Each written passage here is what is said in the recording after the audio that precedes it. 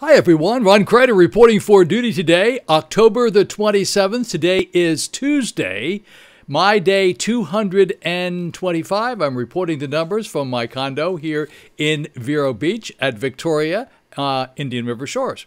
Seven days, seven days until Election Day. Can hardly wait. hardly wait for it to be over. 59 days until Christmas, 65 days left in this year, 21 days of radiation of 43. Uh, 43 days, but I've already done 21, so I'm doing pretty good. And uh, the time changes this weekend on November the 1st, so we are going to fall back. And then this number that's always so important is the positive versus testings.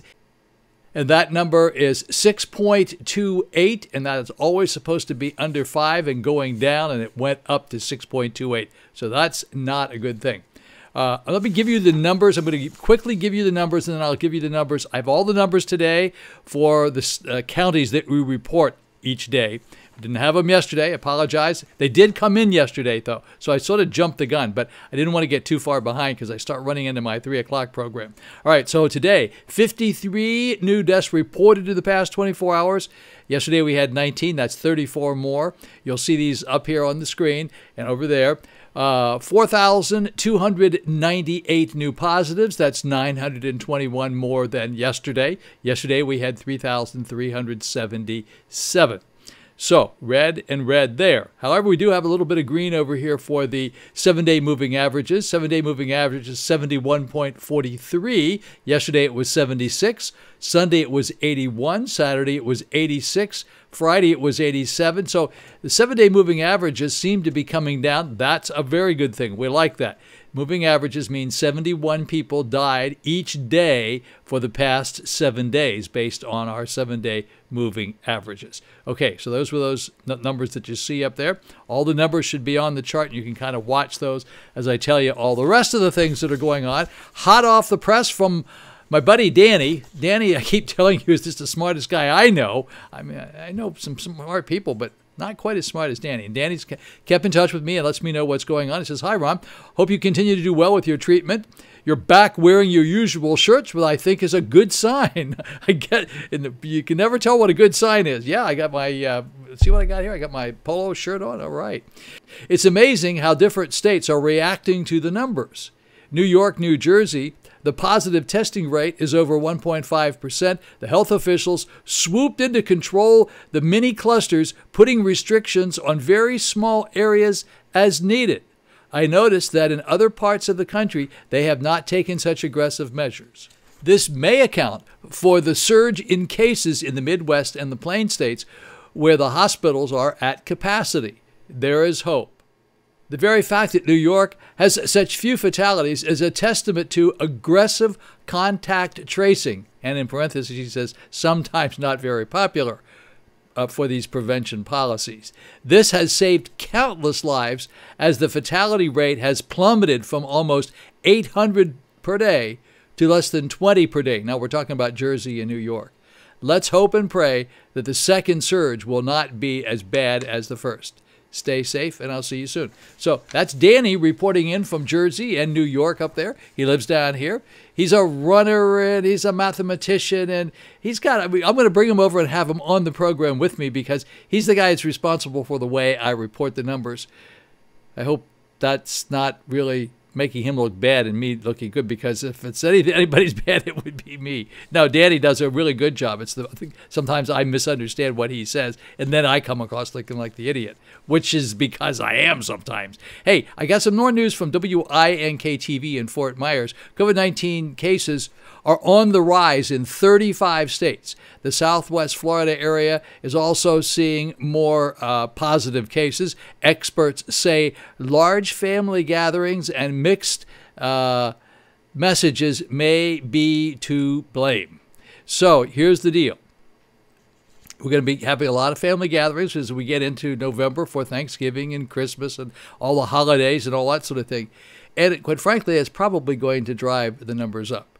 The governor says the worst of the pandemic is behind us, and he says that planning your holiday gatherings is safe and encouraged. I don't, hey, you know me, I'm pretty far right here, and I'm generally lined up with Governor DeSantis, but I don't necessarily think that he knows that that's exactly what he should be saying. But he said it nonetheless. He's entitled to his opinion. Personally, I think that just getting a whole lot of people together from all over the place and bringing them in is going to create a problem. There's no question about it. We've talked about this so many times. Dr. Fauci said, on the other hand, uh, he is in support of a nationwide mask mandate. So, who do we believe? This is this was reported by WINK TV over there in uh, Fort Myers, Florida. So uh, we are having a bit of a problem with these cases all over the United States, and add to the confusion, the flu season is coming. So who knows what that's going to mean? So here's what we really need to consider doing, folks. Same thing as we've always done. Uh, you know, I, every day they spend so much time on radio and TV telling you all about all the theories and so forth. The theories are very simple. We still don't have a cure. We don't have a vaccine. We have uh, some things that you can take if you get it to kind of shorten the amount of time you may have to be in the hospital. The best way to not get COVID 19 is to not go anywhere. And we, I said this yesterday you can't not do that. Wear a mask, distance space, don't be a COVIDiot. Come on, guys, let's get it together here. As we get into the holidays, let's not drive these numbers up. Now, there is a good possibility that we may actually see a uh, vaccine very close to the end of the year, but we won't have enough for all of us to get it, and we won't have enough until early into next year, if in fact it does show up and if in fact it gets approval. So that's kind of where we are right now. now. Anyway, that's my story for today, and I'm sticking to it, okay? Here we go with the weather forecast for the Treasure Coast today 20% chance of rain.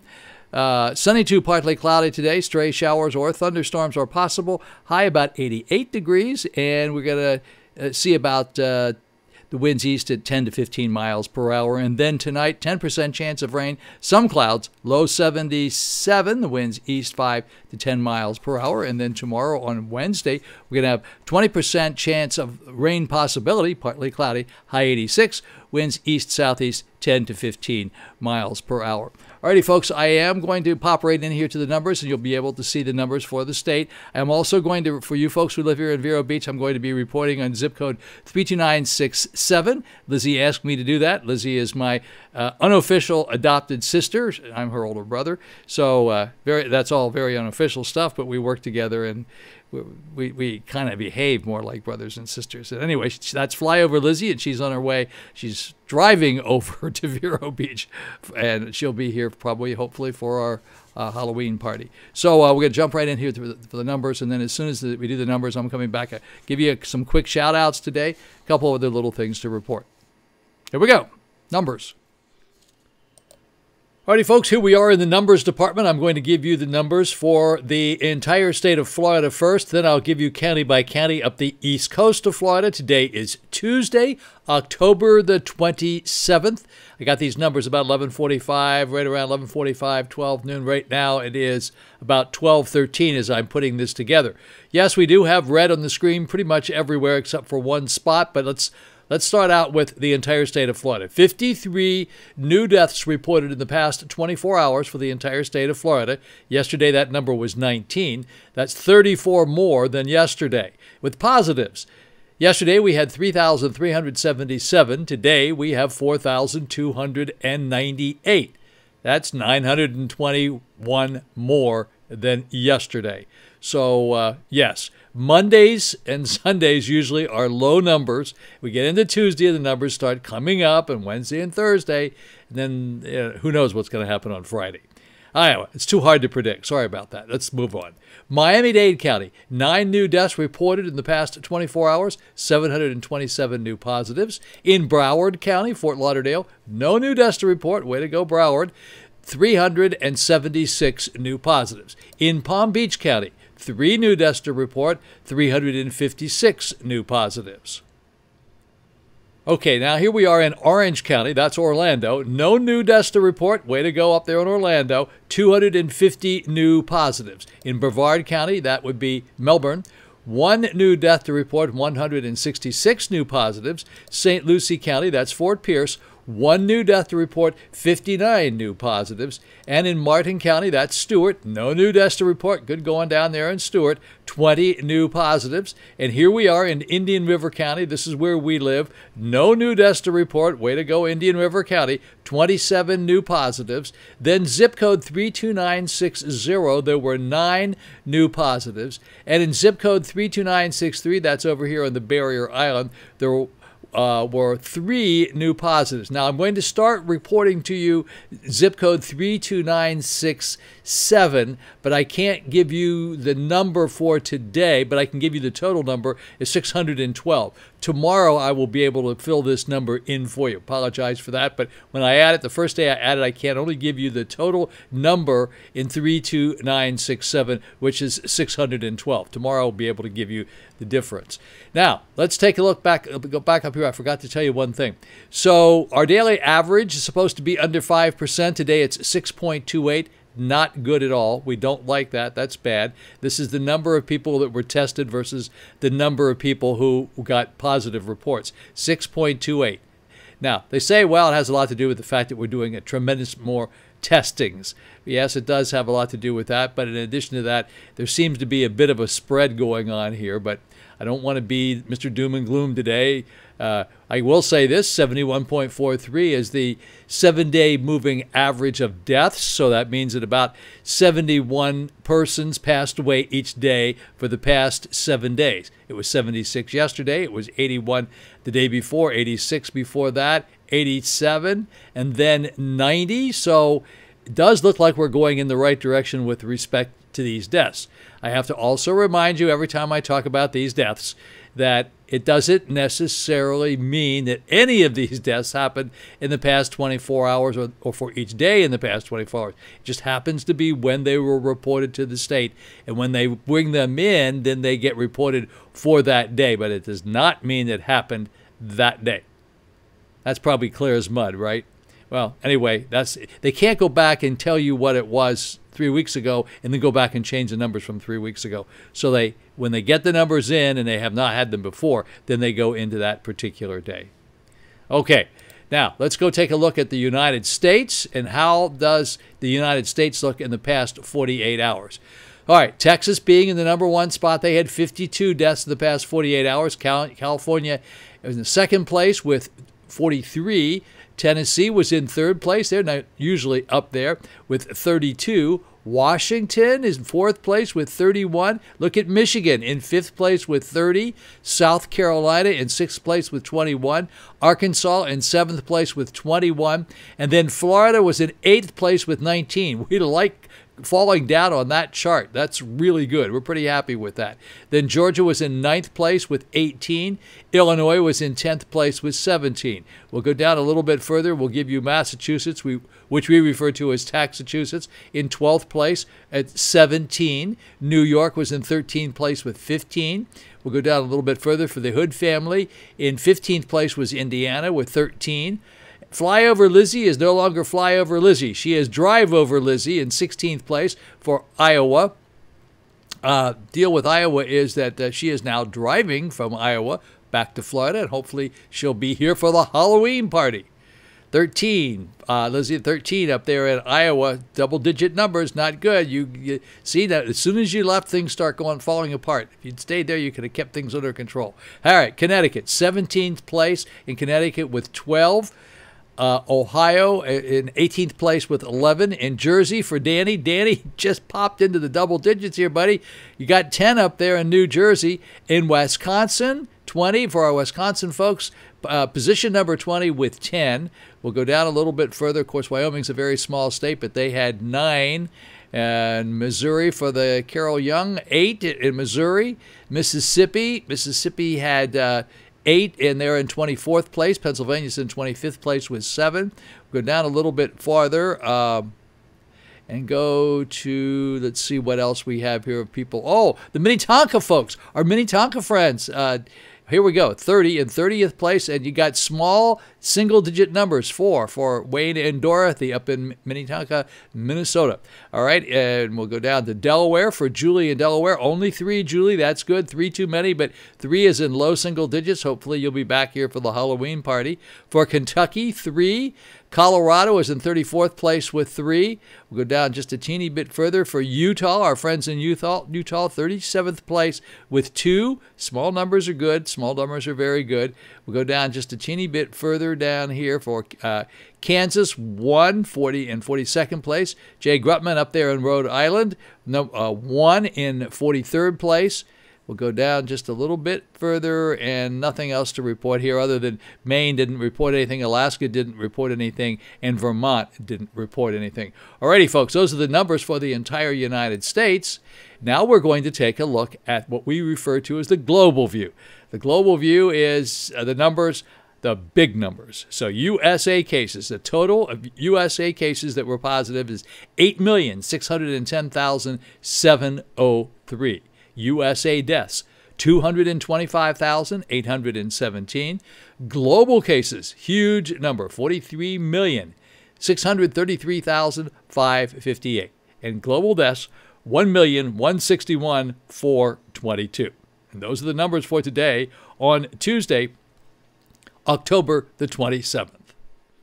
Alrighty, folks, I'm going to do a, some quick shout outs today for some of you fine folks who continue to watch this every day. You know, I, I, I, say please don't watch every day. It's a little bit like weighing yourself, and that you, you, it's so depressing because our numbers haven't changed a great deal. Yeah, they go up, they go down. You know, the positivity rate goes up, the positivity rate goes down, and it's going to continue to be like this until we come up with a solution, and the solution is obviously some form of a vaccine that will be we will be able to get inoculated, and we probably will not get COVID-19. But right now, there's no way out. It's happening all over the world. It's happening all over the United States. We're getting into some form of a second wave. I keep mentioning it probably because we're not as careful as we have been in the past when this first started. We're just letting our guard down. So let's not do that. All right, you folks are very nice to keep watching this, like Marie Arnold and Diana Stark and I always say fly over Lizzie. Of course, Lizzie's on her way back here. Then Cheryl Deacon and uh, Al and Mary June, uh, Joan, Ellen, Elizabeth Hutchison, George, uh, Vanessa, um, Miami, Tony, Miami, Kevin out in Houston. Thank you guys for watching very much. Wayne and Dorothy, they should be back in Minnetonka now. And uh, they're working folks. They're like me, you know, they, they work every pretty much every day and they get to come down here and stay a little bit. They're going to be down here uh, right after the first of the year. But I hope you had a safe trip back, guys. The Kennedys up on Long Island, they're going to be down here pretty soon. And uh, Donna and Jim Davis. Jim Davis, absolutely you you hear him all over the place. His voice is he's got an incredible voice, and he's a walking encyclopedia on the radio business. And he lives right here in Vero Beach. And he was a big star on major radio stations all over the country during the rock and roll era. What a nice guy he is, just a terrific guy. Raymond Kari still lives here. Captain Marcia's down at the gate. Good day, Captain Marcia. Danny up in Jersey. Thank you for the note, Danny. Ron and Barb DeMolin.